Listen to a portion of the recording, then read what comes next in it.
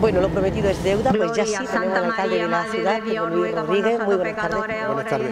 En un principio, gracias por estos minutos que nos va a dedicar previo a lo que va Como a ser era en un pues, la- principio, la ahora y siempre, por los siglos la- de la los misa, siglos. Amén. En la aparición que será En pecado distinta un año concebida, más. María, Madre de Sí, Gracia, eh, Madre por de segundo año consecutivo va a ser una aparición la distinta. gloria. Sobre todo no vamos a poder disfrutar de ver a nuestra la de pasear por las calzadas. Reina y No Señora vamos a de poder disfrutar de ver la misa Padre en el nuestro que exterior. estás en el cielo, Una noche santificado sea del tu 11 de nombre. agosto como es la aparición nosotros tan tu bonita, tan reino, hermosa hágase aquí en tu el voluntad exterior. en la tierra Pero bueno, en hay que cielo. adaptarse a las circunstancias que estamos viviendo debido a la pandemia y por segundo año consecutivo, mucho antes, tendremos que hacer la misa en el interior de la basílica y con todas las medidas de seguridad. Dios te salve. María, llena eres de Bueno, ha gracia, Señor es contigo, bendita eres entre todas las mujeres, Muy poquitos días, muy poquitos días, porque el teléfono no paraba de todas formas, pero bueno, viene uno con las pilas recargadas ya.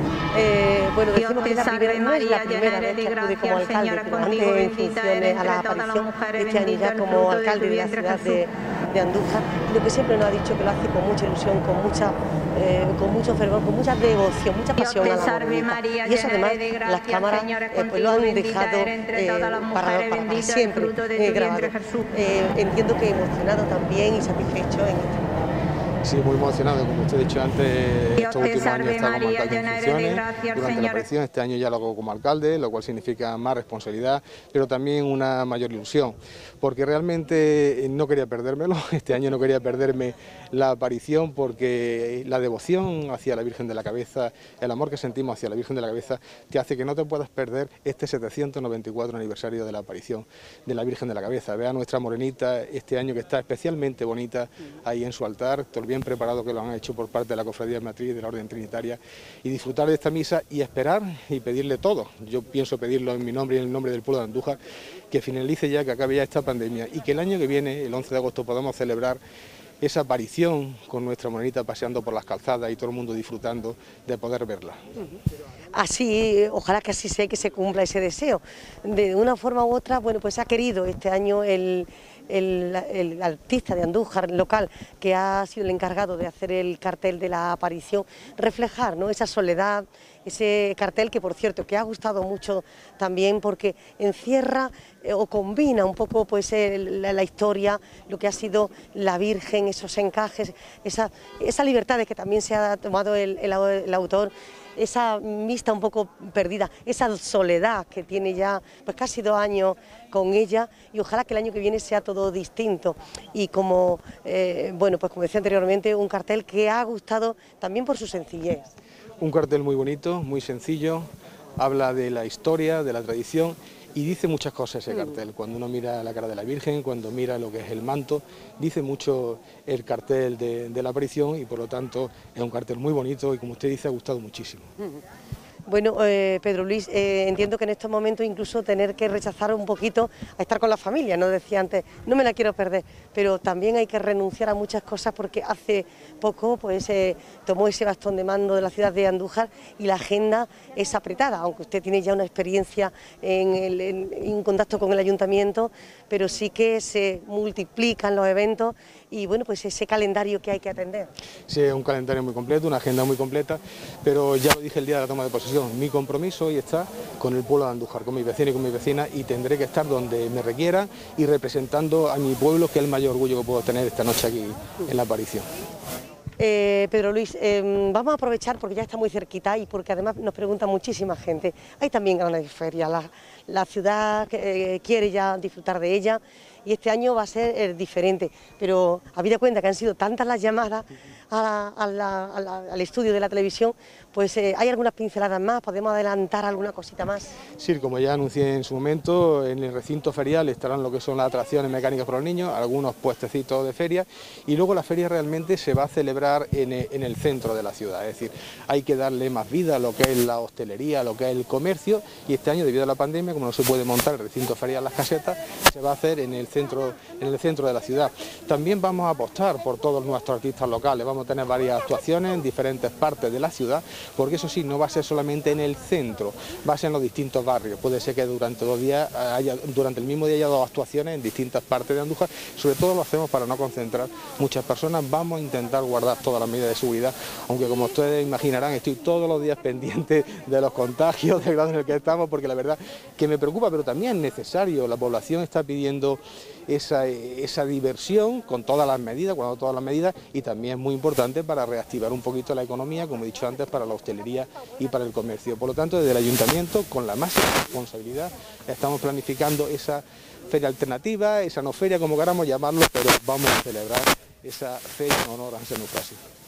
Y muchas preguntas también en torno y mucho deseo de celebrar ya una romería habitual. Aún queda mucho tiempo y bueno, eh, de, momento dar una, una respuesta certera es imposible, pero si todo va como se espera, podríamos el año que viene quizá empezar a disfrutar ya de una romería, aunque fuera con alguna medida de seguridad, alguna restricción, porque hay tantas ganas, alcalde. Como usted dice, ahora mismo es imposible predecir nada porque vamos cambiando semana a semana, pero ¿cuál es el deseo que tenemos? Y el deseo que tengo yo como alcalde, que el año que viene podamos celebrar una romería con absoluta normalidad.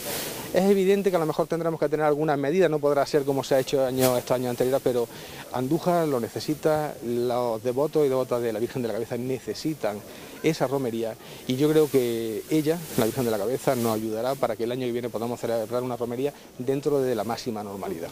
Efemérides muy importantes que se nos acercan. Pues eh, a, la vuelta de seis años tenemos ese 800 aniversario de la aparición eh, y otras que van a coincidir en el tiempo. Mm, eh, hay una cierta, hay un cierto clamor, ahí se comienza a hablar de la bajada de la Virgen de la Cabeza. Yo sé que no es competencia, por supuesto, del alcalde, pero en este sentido, ¿qué opina el alcalde de la ciudad? Eh, yo sé que incluso eh, se está haciendo llegar a a la diócesis de Jaén, en fin, son asuntos de iglesia, son asuntos complicados, pero ¿qué tiene que decirme en este sentido? Como alcalde, pues tengo que respetar todas las decisiones y la decisión, como usted bien ha dicho, corresponde al obispado, de la orden trinitaria, incluso de la cofradía matriz, no una competencia del ayuntamiento. Ahora, si me pregunta como andujareño, deseando que la Virgen bajara a Andújar. Lo que pasa que, repito, como alcalde no es competencia nuestra y por supuesto que lo apoyaríamos y colaboraríamos en todo lo que fuera necesario, pero una decisión que tiene que tomar la iglesia. Uh -huh. Bueno, la, el santuario, la iglesia, en este momento, eh, para esta aparición, la estamos viendo vestida, eh, sobre todo en su puerta principal, totalmente distinto.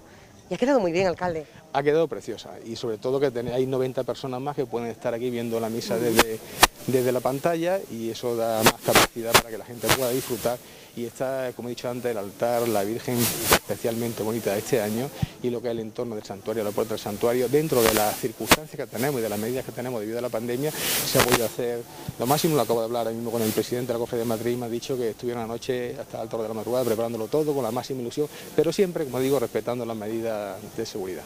Que son muy importantes y no debemos de cesar en, en ese respeto, de la mascarilla por supuesto que sí, y todas las medidas eh, a disposición de, todas las personas eh, que nos exige sanidad y el Estado, porque es la única vía para poder controlar esto que tanto nos atormenta a, todos. Entiendo que también a usted como alcalde, porque no conseguimos del todo ese objetivo que queremos todos. Por supuesto que sí, es, es lógico que la gente estaba ya en casa muy agobiada y entonces están saliendo, pero no debemos de olvidar el tema de la mascarilla, aunque estemos vacunados con las dos dosis. Tenemos que, que mirar no solamente por nosotros, sino por los demás.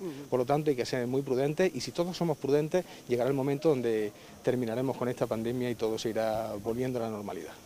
Alcalde, le dejo pues eh, el último espacio de esta entrevista para que se dirija a las personas que nos están viendo en este momento en casa, cuáles son sus deseos también para ellos en este día de la aparición.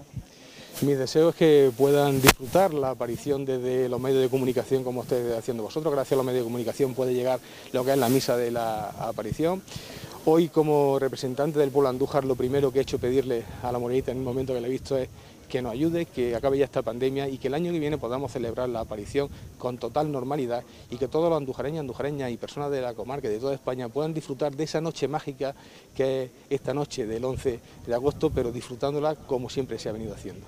Muchísimas gracias, alcalde. Gracias, gracias. a ustedes. Gracias. Muchas gracias. Bueno, pues como les decíamos, han sido las palabras del alcalde de la ciudad de Andújar y en unos minutitos, muy pocos minutos, Eh, estamos en riguroso directo también como cada tarde a las 8.30 desde Arjonilla, donde eh, bueno, pues esos actos eh, previos a la celebración de esa Eucaristía también central en honor a San Roque, lo van a poder asistir y vivirlos tanto en en esta, en esta provincia de Jaén, como en España, como en el mundo entero a través de Internet y con la señal de, esta casa. Disfruten también de, Arjonilla, de esa tierra y de ese patrón San Roque. Desde aquí, desde el santuario, volvemos de nuevo a las 9.30 con eh, la Eucaristía del día del aniversario, del 794 aniversario de la aparición a la Virgen de la cabeza del pastor al pastor Juan de, Rivas. Gracias por estar con nosotros, por formar parte de esta familia. Nos vemos a las 9.30 en el santuario de la Virgen y Real Basílica de la Cabeza.